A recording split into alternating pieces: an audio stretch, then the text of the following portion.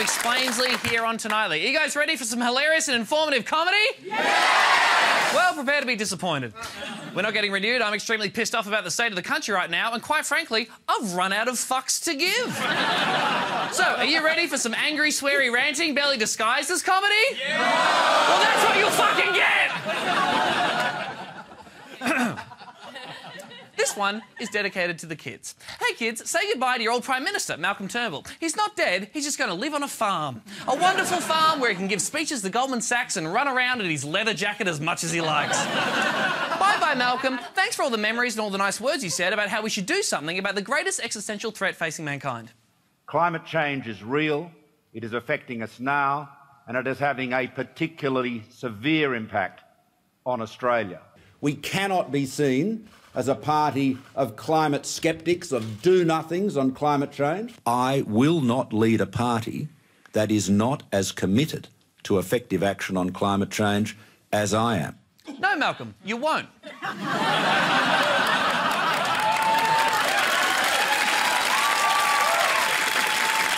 and the truth is, you never did, because the party that you've led twice in your career and as coalition partner of the Nationals could barely give two shits about climate change. And towards the end, it seems, neither could you. The coalition has dumped the idea of a clean energy target. Also coming up, Malcolm Turnbull's humiliating backflip on his energy policy to save his leadership. Last week's party room approved version of the National Energy Guarantee has now been scrapped. The legislation to move forward with the emissions component of the National Energy Guarantee will not be able to pass the House of Representatives. Man, Malcolm Turnbull was so good at backflips, especially for someone who doesn't have a spine. This is the same guy who wrote a piece in 2009 called Tony Abbott's Climate Change Policy is Bullshit, in which he wrote, The fact is that Tony Abbott and the people who put him in his job do not want to do anything about climate change. They do not believe in human caused global warming. Many Liberals are rightly dismayed that on this vital issue, we are not simply without a policy, but we are now without integrity. We have given our opponents the irrefutable, undeniable evidence that we cannot be trusted. Yeah, turns out that evidence was bang on. I would happily keep talking about your legacy of disappointment, Malcolm, but I actually think that this guy from 2010 talking about Kevin Rudd sums it up pretty well. Because he did not have the guts to take on this issue, he squibbed it and abandoned it. And he wonders now why people ask, What do you stand for, Kevin? What do you stand for, Kevin? What do you believe in? If you do not believe in action on climate change, what is the substance, the political substance of your leadership? And the answer is there is nothing there. Hey, Malcolm, on behalf of myself and these little kids here, two words fuck this. Fuck it. Fuck the hypocrisy, the weakness, and inertia on this issue that your political career represents. Fuck the fact that the choice of who was going to replace you as Prime Minister was between a dude who jokes about Pacific Islanders losing their homes thanks to rising sea levels and this guy. This is coal. Don't be afraid. The Don't be scared. Won't the treasurer. you. Fuck that! Burning coal might not hurt you in your lifetime, ScoMo, but it's probably going to hurt me, and it will definitely hurt these guys. So fuck this noise. You've let us know your top priorities as PM are the drought and getting energy prices down. Well, the Farmers Federation reckon climate change is making the drought worse, and renewables are forecast to halve wholesale energy prices over the next four years. But you and your government have said fuck that, and now our new energy minister is anti-renewables campaigner Angus Taylor. Out with the old, in with the new energy policy. The challenge now is to accept that we had a mess and that we're now fixing it. The next generation abandoning subsidies for renewables in favour of renewed investment in coal and gas. We have to leverage those resources, not leave them in the ground. Fuck that. And fuck the fact Scott Morrison's new Chief of Staff was the Deputy Chief Executive of the Minerals Council of Australia and also worked at Rio Tinto. And fuck the fact that our new Environment Minister, Melissa Price, is a former lawyer for the mining industry who says she would support the construction of a new coal-fired power station. Hey, Scott Morrison, why don't you just go the full distance and just open up your cabinet to Captain Planet eco-villains like Looten Plunder and Hoggish Greedly? Fuck this!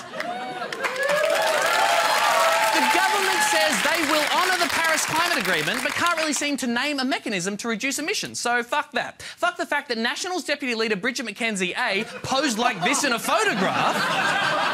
And B, last month, last month said, I'm not afraid to say the C word, coal, coal, coal. Fuck the fact that a member of the Australian government saying that is considered less offensive than when a dumb comedy show uses the other C word. Fuck the fact that Tony Abbott has any influence on this policy area at all. Fuck that he called climate change absolute crap, then said that coal is good for humanity, then said climate change is probably doing us good, and then became a key figure in destroying Australia's chances of having an emissions trading scheme or a price on carbon or even the limp, half-assed compromise that was the neg. Hey, Tony, I know you think your daughters are hot. Well, in the future, they're going to be a lot hotter thanks to your work in helping cook the fucking planet.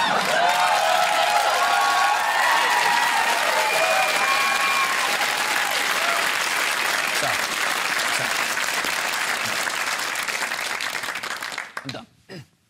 Actually, rest assured, this is a multi-partisan fuck that. Fuck the Labor Party on this. From Paul Keating's dismissal of environmental issues in the early 90s, to Rudd's failure to take action on climate change, despite this being the greatest moral challenge of our time, to Julia Gillard's Citizens Assembly nonsense. Fuck One Nation for their denialism. Fuck the Greens for failing to get any lasting serious climate policy through when more Australians want climate action now than before the carbon tax. Fuck the whole political class, failing to get anything actually done. Fuck the fact that fossil fuel companies made almost a million dollars worth of political donations last year, and fuck the fact those dollars were accepted. Fuck the fact the coal lobby spent $3.6 million on its massive ad campaign last year, and fuck the fact they called it coal. It's an amazing thing. fuck the fact that when one academic went looking for people who have moved between positions in the fu- fossil fuel and mining industries and senior positions in government over the past 10 years, he found more than 180 names. Fuck Australia for being one of the largest carbon emitters per capita on Earth, for our emissions last year being the highest on record, and now we have bushfires in winter. Fuck you, bushfires! Fuck the fact that Paris, or no Paris, some scientists say the entire world needs to get to zero carbon emissions well before 2040. Fuck this impossible situation in which we as a country aren't able to figure out our climate and energy policy because of our high electricity prices. And one of the major reasons why our electric- electricity prices are so high is because we can't figure out our climate and energy policies.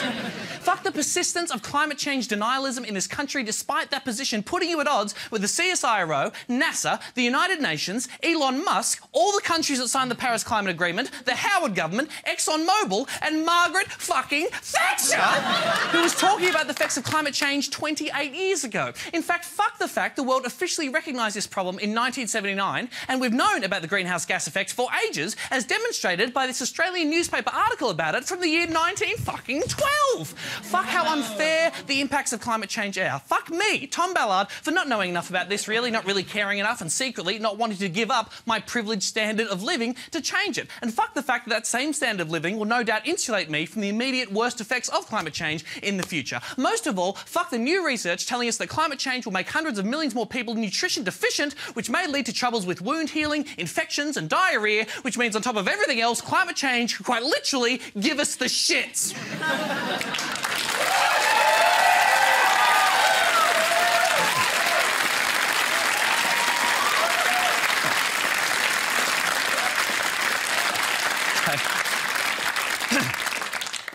Sorry about that. No. Just to get a tad worked up. Because politics in this country are broken. A system just isn't equipped to deal with a challenge like climate change because it requires political parties to think further ahead than the next election and to maybe develop policies that might go against the interests of their donors. Our politicians have been shithouse at this for decades. And if you're a young person like me, you should feel pissed off. We should feel pissed off because we're getting ripped off by these people and we're the ones who are going to have to deal with it. It's going to be on me. It's going to be on these guys. Hey guys, how you going? Nice to see you. Aw, thanks so much for coming along. Lovely to see you. Oh, what's that? Using children like this is emotionally manipulative? I don't know. Do you guys feel manipulated? oh, now, now, now. Pop on your ghost masks just like we practiced. There we go. You know, someone once said that politics is about conviction and a commitment to carry out those convictions. Now, sure, that person was Malcolm Turnbull, but the sentiment isn't wrong. So, hey, Australian politicians, please be people of your convictions. You work for us, not for them, but for them. Be people of your convictions. Be people of your convictions. And quite frankly, if you have no conviction about taking real action on climate change, then get out of the way because we are running out of time and you are slowing us down. Wave goodnight, kids. Say goodnight. Thanks so much for watching our second last episode. We'll see you tomorrow.